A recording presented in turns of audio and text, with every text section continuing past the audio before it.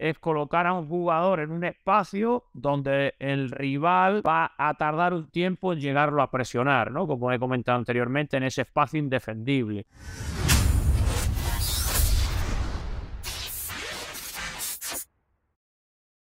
Una vez ya tengo esa información, la he pasado por mi modelo de juego, empiezo a construir el plan de partido, ¿no? Eh, y el plan de partido, pues evidentemente está relacionado con el ataque, con la defensa, las transiciones, el balón parado, etcétera, etcétera, ¿no? Algo que me fijo fundamentalmente en ataque son de esos espacios indefendibles, ¿no? Que ya este, este concepto está bastante trillado por, todo el mundo, que son esos espacios donde te, permite recibir con un tiempo y, y con un tiempo donde el rival tardará en llegarte, ¿no? Donde el rival tardará en llegarte a presionar. Estos espacios, pues evidentemente en función de la estructura rival, de los, sus comportamientos, etcétera, etcétera, cambiarán a lo largo de, de, cada semana en función del rival, pero también cambiará a lo largo del partido, porque siempre digo que un partido es una adaptación, una desadaptación. Me adapto, se desadapto, me adapto, me desadapto, ¿no? Y, y en esa búsqueda de estos espacios donde poder recibir con tiempo, que no es más que eso, recibir con un tiempo, y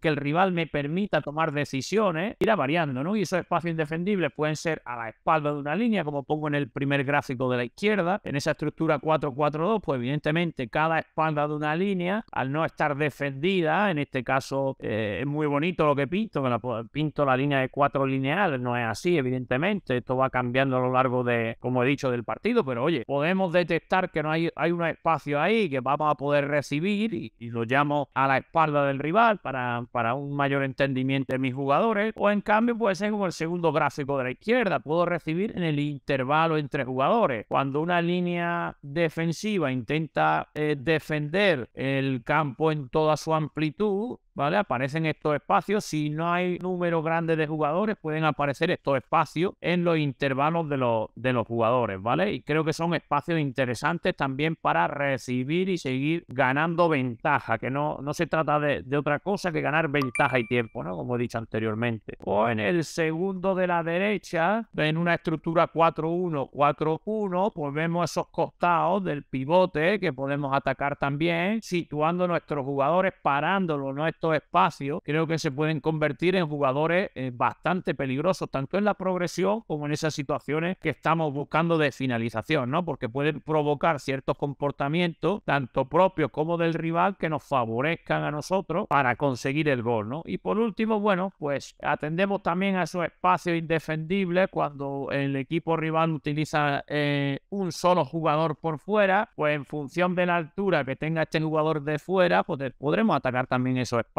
y, tendremos ese tiempo que buscamos en función de cuándo nos llegue o no nos llegue ese carrilero o, o llamémoslo como, como cada uno quiera. ¿vale? A partir de detectar estos espacios indefendibles en la estructura rival, ahora se empiezan a construir las ventajas, ¿no? Que, bueno, que Seirulo en este caso no, nos determinaba este, este, estos seis tipos de ventajas, eh, la numérica, la posicional, la cualitativa, socioafectiva, dinámica y condicionales, ¿vale? La numérica no es más que tener un jugador más que el rival en en, una zona, ¿vale? Para ganar esa superioridad numérica y poder salir con ventaja y, atacar la siguiente línea con ese jugador que sale libre, ¿no? La posicional, como bien dice, como bien se define, ¿no? Es colocar a un jugador en un espacio donde el rival va a tardar un tiempo en llegarlo a presionar, ¿no? Como he comentado anteriormente, en ese espacio indefendible. La cualitativa, pues no es más que ser mejor que un rival eh, o en este caso con un oponente directo, mi rival o mi par, ¿no? Por llamarlo de alguna manera. Y pongo un ejemplo, eh, Dembélé, ¿no? Pues normalmente tiene esta ventaja cualitativa cuando se enfrenta al lateral eh, rival, ¿no? Porque tiene esa facilidad para desbordarlo, para irse de él, para utilizar diferentes cintas derecha o izquierda con la eh, polivalencia que tiene en sus piernas, le da, creo que es un ejemplo bastante interesante de, esta, de este tipo de ventaja. La cuarta sería la socioafectiva, que es aquello que donde dos jugadores se unen y surge algo más que su unión. Recuerdo un partido, ¿no? El partido este del Betis donde le ganó al Milán ahí en San Siro, ¿no? Y a mí me impresionó la sinergia que tenía Joaquín con los Chelsea, ¿no? Era eh, como de dos jugadores que evidentemente tienen mucho, mucho talento, surgían eh, combinaciones estratosféricas, ¿no? Uno se la daba de tacón, el otro se iba, el otro aparecía, eh, una pared, una cinta, Además, ese cambio de registro que yo creo que es tan importante para los jugadores ofensivos, de ser capaz constantemente de, de, no repetir esos patrones en ataque. Eh, insisto mucho, por ejemplo, este año en, mi, en, mis carrileros, en mi extremo, llamémoslo como queramos, eh, eh, cuando se enfrentan a su oponente directo, que no repitan el comportamiento anterior. ¿no? Si antes salía mi pierna dominante, que era la izquierda, para sacar un envío, al siguiente intentar salir para la derecha, ¿vale? Para el rival no sea capaz de identificar ciertos patrones defensivos y, y, que sea capaz de anularnos, ¿no? en ataque. La quinta ventaja de la que de la que podemos hablar sería la dinámica, que es llegar en movimiento a esos espacios que están libres. Y, esta, y esta, esta velocidad y ese, ese movimiento me va a permitir, pues lo mismo, cierto tiempo para recibir, para poder girar o para poder llegar con una buena orientación y seguir eh, creciendo la jugada, ¿no? De cara a portería rival. Y por último, la condicional, que no es,